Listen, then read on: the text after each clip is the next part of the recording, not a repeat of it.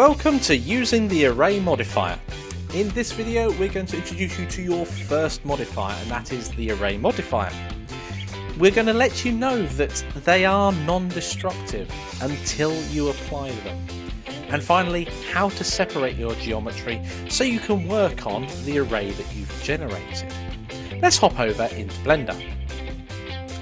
So here we have our pyramid, as always, because that's what we've been working on. I don't know whether you guys have been working on anything in between, but this is our pyramid, and we want to play with the array modifier.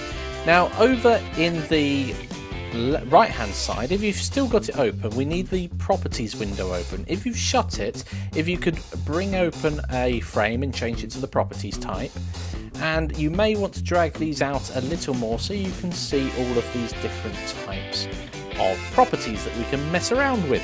And we want the one that looks like a spanner or a wrench. And when we click on that, it, we've got this option here to add a modifier. If we select add modifier and go to an array, we can see it immediately generates a copy of our pyramid. But it doesn't exist yet. It doesn't exist until we click apply.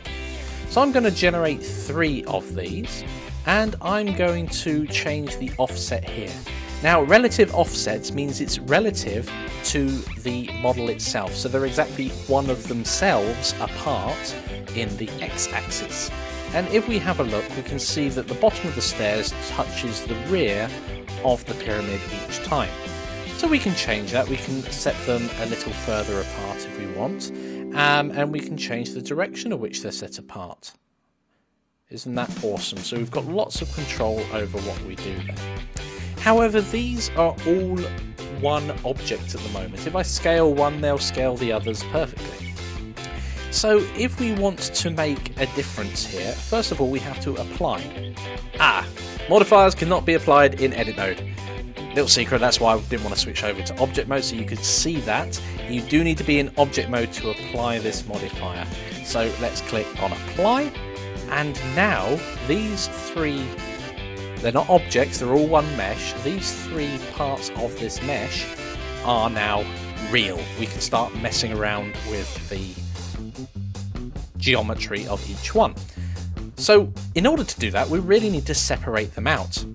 And there's a straightforward way of doing that. We do need to go back into edit mode, and then we have to select all of the geometry we want to put into its own area.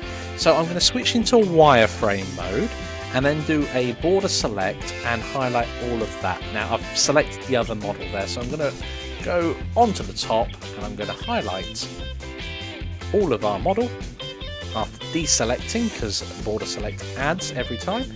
There we go. Now I'm going to press the P key and we're going to separate by selection.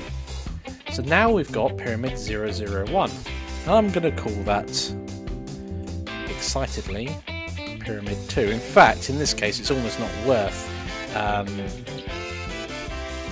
renaming them, but I am because I'm going to do a big pyramid in the middle once we've separated them all out. So we've got that, and we just need to separate this here. So we're going to hop into edit mode on that object, and finally, let's just go above everything and hit box select, and there we go. We've selected everything there.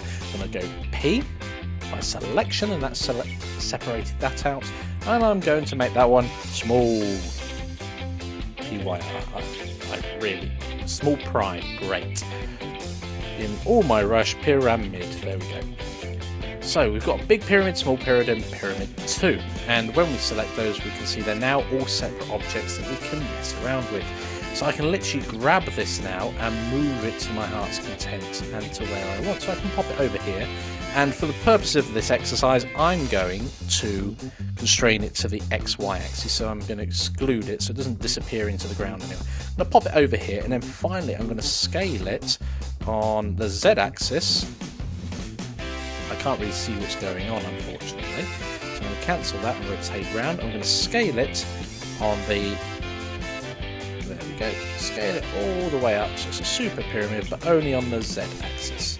It's going to look a bit funny, but that's okay for the purpose of this. This one I'm only going to scale on the XY axis, so it's going to be lovely and flat. And as you can see, it's disappeared into the distance there. If we make it like that, we've got our three different pyramids. Brilliant. And they're all separate. Now it's time for your challenge. Let's hop over and see what it is. Create your stairs. I bet you guys knew that was coming. So the steps themselves should run from the bottom to the top, all the way. Uh, I want you to create your steps using the array modifier and finish with one mesh object at the end. So there's a clue that you're going to have to separate something at some point. Pause the video now and go give that a go. Welcome back. Let's create some stairs for our pyramid. So let's hop straight on over into Blender. So let's work on our pyramid 2, which is this one at the front. I'm going to leave the other ones in the background just for aesthetics. And I'm going to hop on over into edit mode. I'm going to start at the bottom. You could start at the top if you want. And I'm going to zoom in right to this front area here. I'm going to go to vertex select. You can do this a number of ways. And I'm going to turn off merging vertices for the moment because I do want them to be separate. I'm going to click that vertex there and extrude. So I've just created an edge, basically, another vertex freely floating in space, but only on the z-axis. And I don't know how far to do it. Uh, perhaps 0.2. Yes, 0.2 sounds nice. 0.2. And then I'm going to extrude it in the x-axis, again by 0.2. So that's going to be the outline of our stair.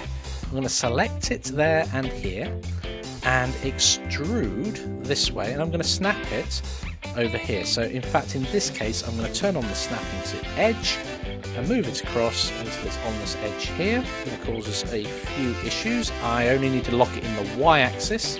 There we go. So now that's our step. We just need to multiply it several times.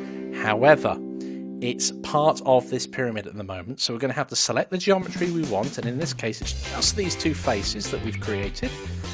And then we want to separate it with the P key by selection, and it's added it down here, so I'm just going to do that pyramid to stairs.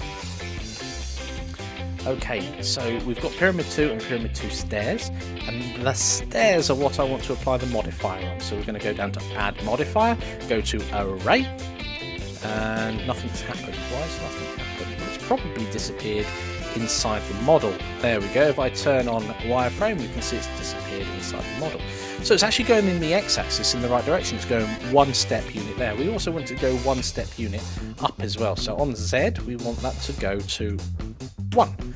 And there we go, we've got our second step. I haven't a clue how many steps we're going to need to fill up our pyramid, so I'm just going to increase this number until it looks right. Zoom around to the top, I think we need two more.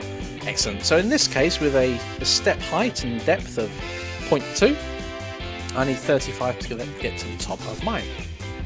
Now finally, because they don't exist yet, only the bottom one does, I'm going to apply my modifier. Now I can go in, and if I wanted to, edit these ever so slightly so I can make one higher, one lower, etc. etc. if I wanted to. I don't, but what I do want to do is now merge these two objects back together. So I'm going to hop over into object mode, select our stairs and our pyramid, and press Control and J for join. They're now together, and unfortunately it's named Pyramid 2 Stairs. I don't want that, it's just Pyramid itself at the moment. And there we go, we've got our pyramid with stairs. That's great. How did you guys get on? See you in the next lecture.